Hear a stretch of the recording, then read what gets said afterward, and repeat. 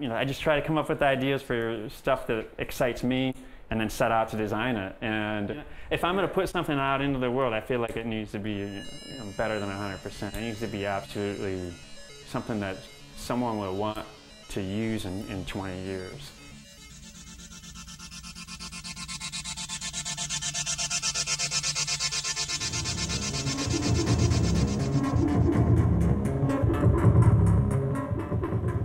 This is actually uh, the, a complete make noise system. It's got all of our modules in it. Uh, when you're building a modular synthesizer, you wouldn't necessarily get one box that kind of had everything you needed in it.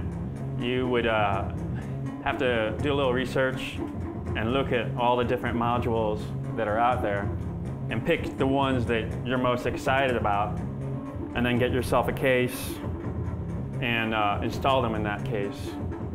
So for example, in this, this system here, we got one, two, three, four, five, six, seven, eight, nine, uh, nine different modules. You've got everything uh, from a, you know basic VCO here.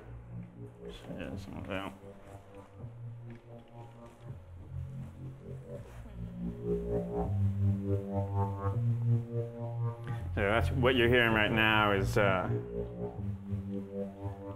is this uh, DPO. It's an analog VCO. It's two, uh, two VCOs, a wave folder, and a bunch of other shaping, uh, shaping circuits that make it sound like more than just a triangle wave. So you can get kind of sweeping textures and whatnot. And the other part of this patch was uh, the Phonogene, which is a uh, granular looper.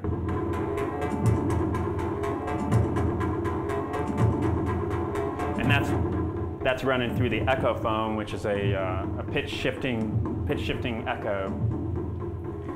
So the Phonogene by itself.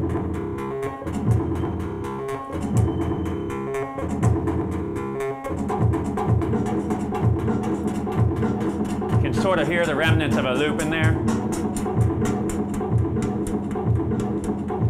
So with, with the Phonogene, you can do a lot of fun stuff. Once you get a loop in there, you can do stuff like Play it backwards, change the speed.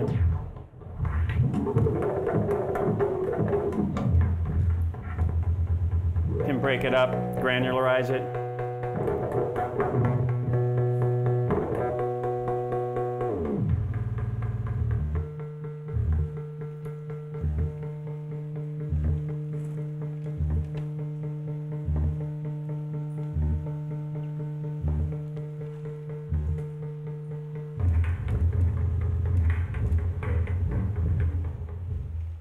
When you combine the two, you can get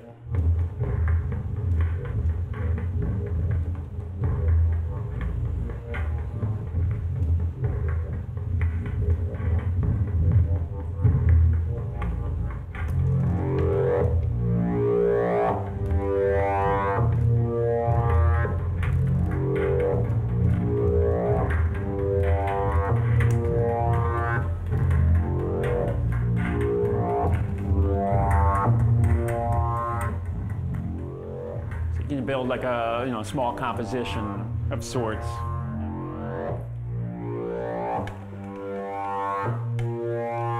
So I get rid of all the modulation here for a second.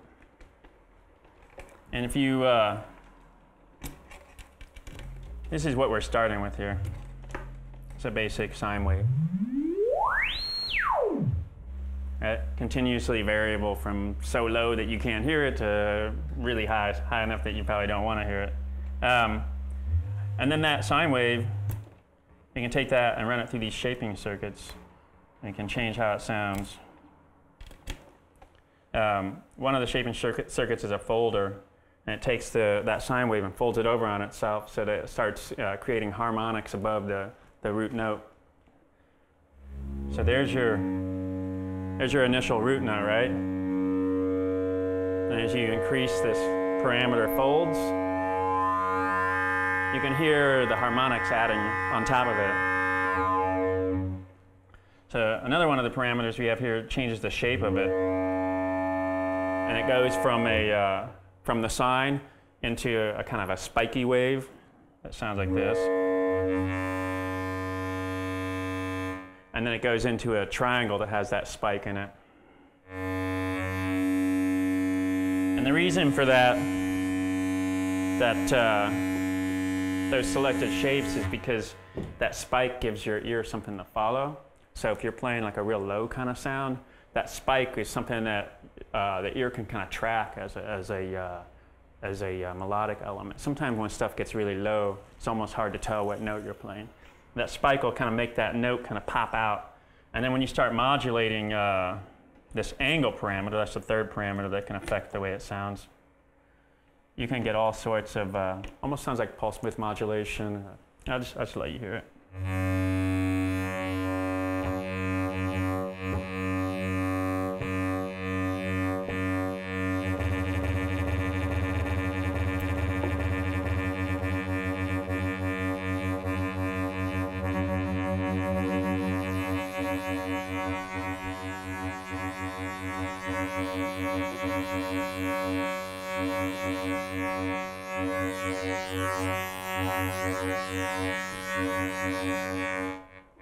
So uh, it, again, it, it's kind of animating uh, the sound. So you, you start with something as simple as that, and then you can get into something as, as complex as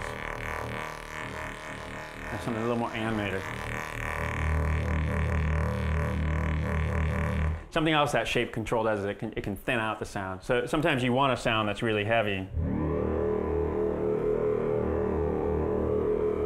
And sometimes you might want a sound that's a little thinner.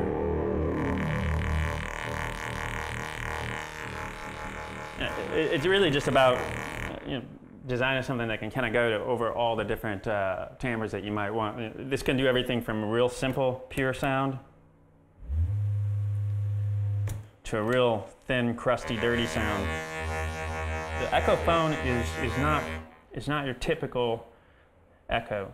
It's, it uses an algorithm that Tom, that Tom wrote that takes inspiration from one of the first pitch shifting, time shifting devices that was ever made called the Tempophon, which used analog tape to change the perceived pitch or tempo of the source material. And it did that by having, um, having one record head and then several playback heads. And the playback heads were on a, uh, on a wheel that spun. And the tape would move at one speed, but the playback heads would move at another speed. And so if the tape was moving slower than the playback heads, you would get time stretching. If the tape was moving faster than the playback heads, you'd get time compression.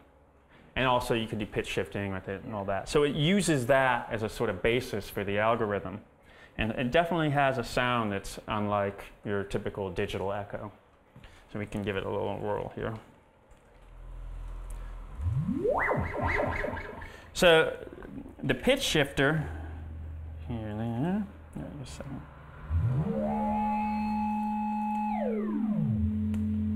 So there's your the pitch of the sine wave that's going into it.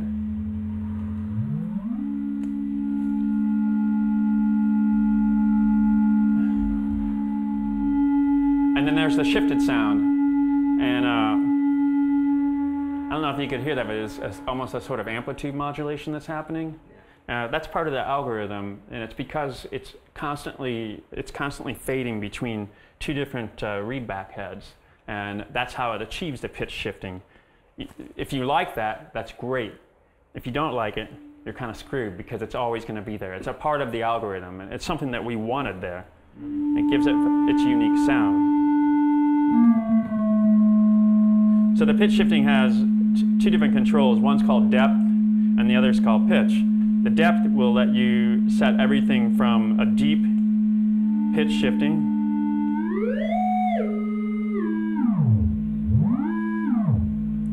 where it's it's literally can go from uh, across four octaves, so it can shift up two octaves or down two octaves.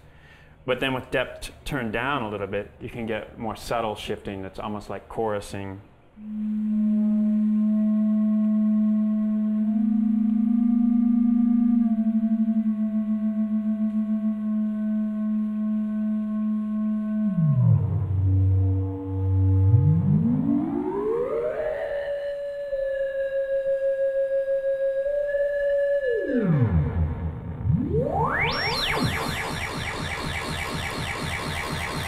The other thing that it has is a lot of saturation in the feedback path.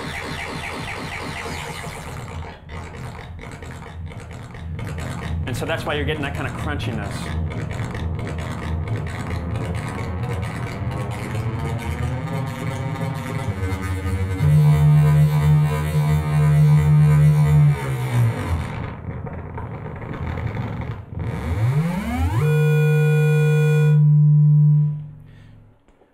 Um, so the combination of that, uh, that Tempophon based algorithm for the pitch shifting and all of the saturation that Tom put into the feedback paths really gives it a, a unique sound. It has a, a, almost, I hate to use the word when you're talking about something that's DSP based, but it does have an almost analog flavor to it. It definitely doesn't sound digital um, as much as your typical digital delay would.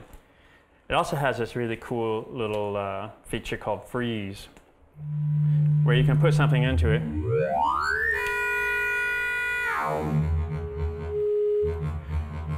And it'll infinite, uh, infinitely repeat.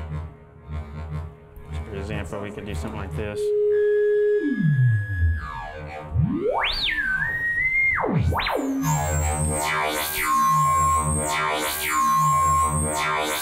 that'll go on forever. But you can do some other fun stuff where they're like.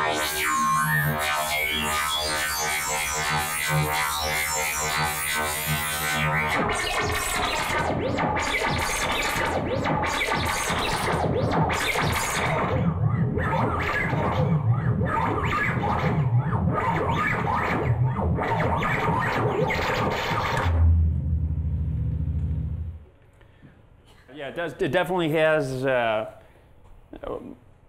the guy, the guy that we're working with on this one, Tom, he definitely has a, a, a very good understanding of what makes analog really great. And even though he writes DSP code, I think that that really affects how he writes his DSP code. It, because yeah, it's almost it's crazy how how much it sounds like something that uses tape or uh, those that type of technology. But, but it's, it's also not, it's not necessarily a, um, no, I wouldn't call it an emulator because there's a, there's a lot of stuff that it'll do where it really kind of goes beyond those sounds too. Um, and it can definitely sound down, downright gritty and digital.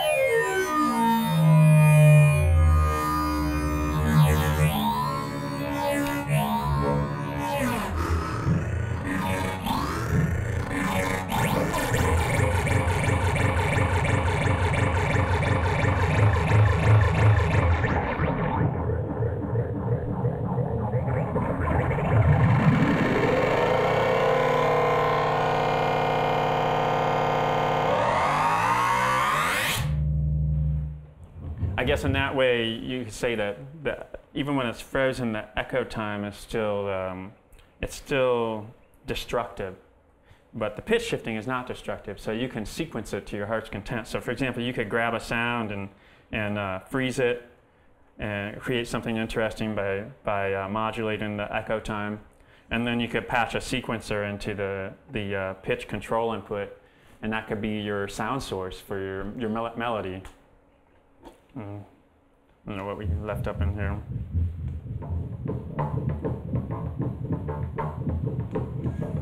So yeah, that's that, the frozen sound that we just captured.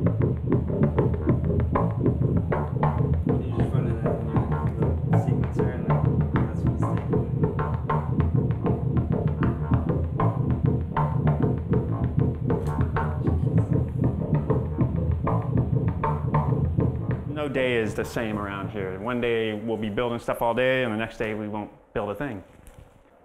All of our, our boards are put together out in LA, and all of our metal work's done in Ohio.